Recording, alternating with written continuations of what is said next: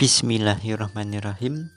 Assalamualaikum warahmatullahi wabarakatuh. Baik teman-teman. Ketemu lagi dengan saya Mas Jack Di channel Mas Jack Elektronik.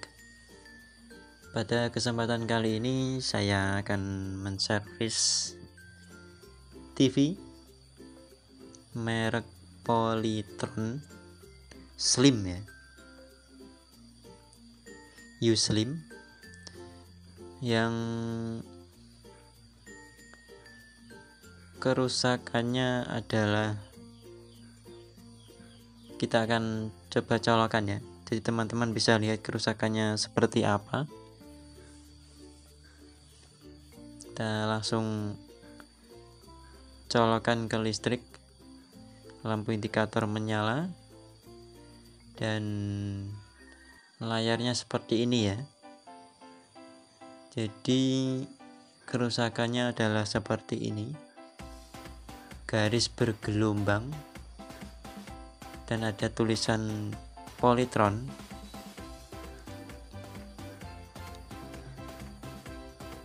oke bila anda menyukai video ini jangan lupa like comment dan share. Apabila video ini bisa bermanfaat Oke langsung saja kita eksekusi. Kita cari di mana kerusakannya. Kalau kerusakan seperti tadi itu pasti anda ada indikasi di bagian vertikal ya. Tapi pertama-tama kita akan cek bagian elko-elko nya jika tidak ada yang melembung pasti ada bagian yang rusak di bagian vertikalnya. Dan saya curiga pada deflek defleksinya ini pada yuknya nah yuknya yang itu yang ada gulungan sepul yuk atau defleksi. Sebab dia fungsinya dari defleksi ini adalah memperlebar gambar. Baik ke atas ke bawah dan ke kanan ke kiri. Jadi di situ ada gulungan vertikal dan gulungan horizontal. Dan saya curiga yang rusak adalah atau yang putus pasti ada yang putus di bagian vertikalnya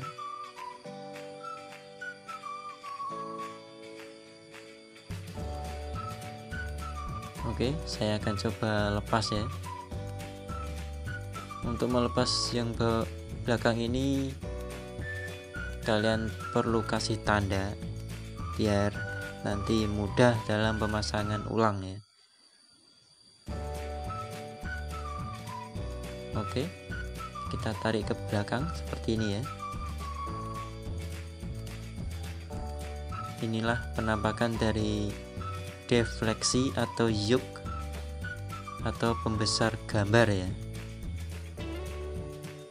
Yang kelihatan ini, ini adalah rangkaian vertikal atau gulungan vertikal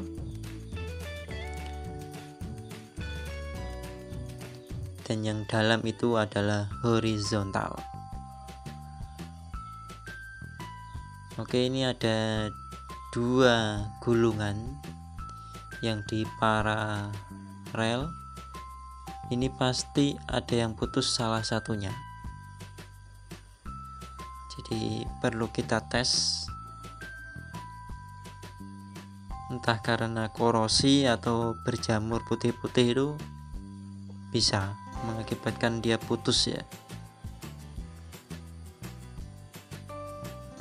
Saya akan coba cek menggunakan multitester analog.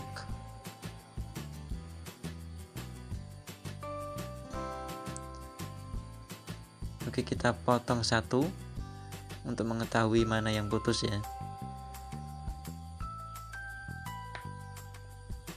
Dan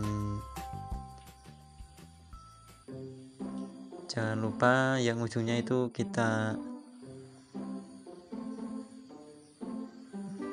kerik dulu atau kita bakar biar terkelupas emailnya agar bisa dites.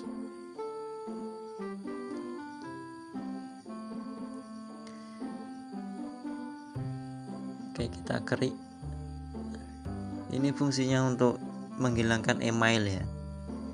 Jadi coil ini dibungkus oleh cat email.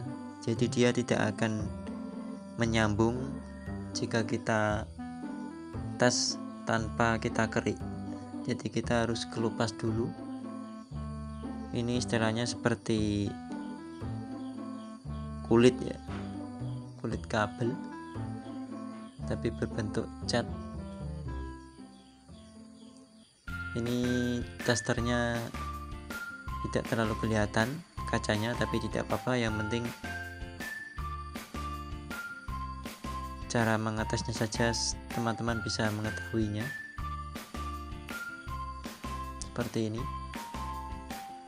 Jadi yang putus yang itu ya yang saya kerik ya. Nah. Dia tidak nyambung jadi kita akan lepas dulu. Ini ada pengait ya besi atau kawat seng ya. Nah seperti ini. Ada klip tadi. Ada dua klip. Nah seperti ini. Kita congkel kita lepaskan semuanya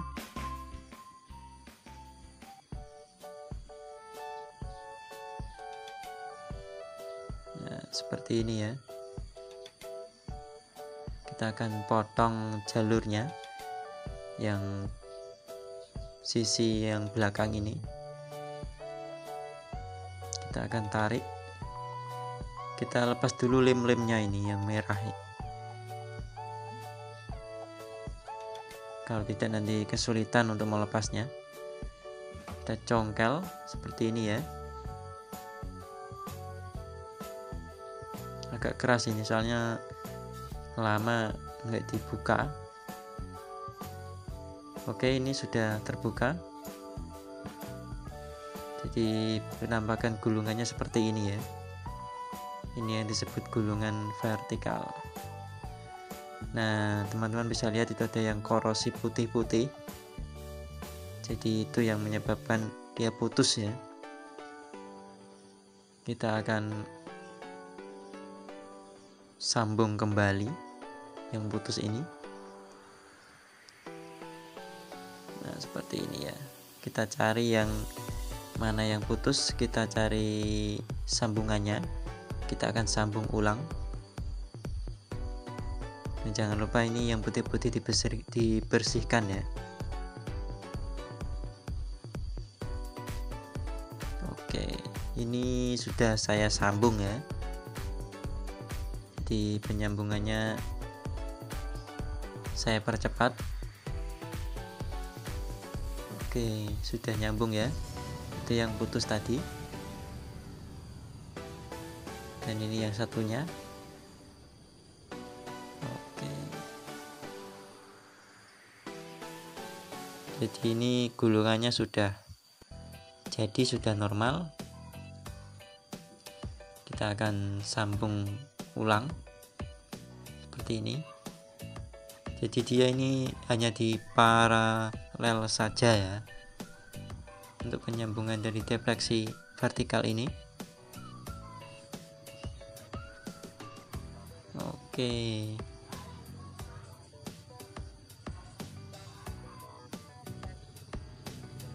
Jangan lupa di solder ya untuk merekatkannya seperti ini.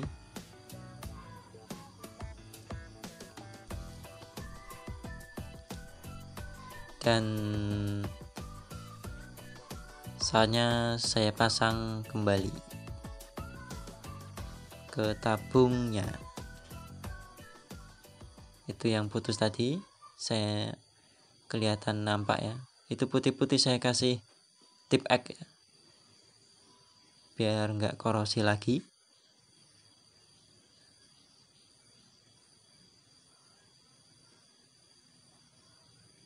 oke.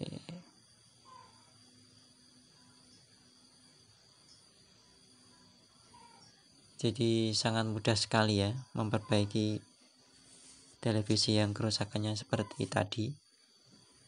Bergaris-garis dan bergelombang.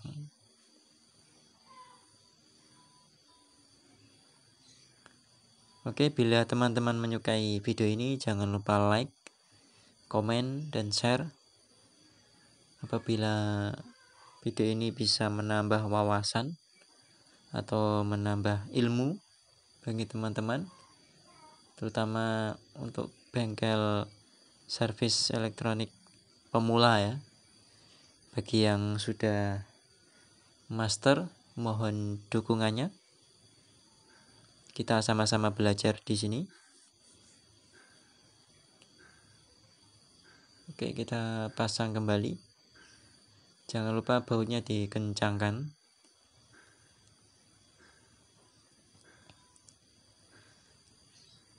Dan saatnya saya tes. Saya colokkan ke listrik.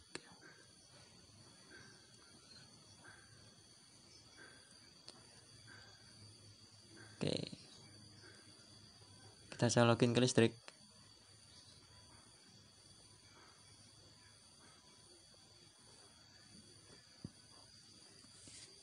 Dan lampu indikator menyala. Kita lihat layarnya, perubahannya seperti apa ya. Nah, teman-teman bisa lihat gambarnya sudah penuh kembali dan normal ya. Nah, sangat mudah sekali servis seperti ini sekian dulu assalamualaikum warahmatullahi wabarakatuh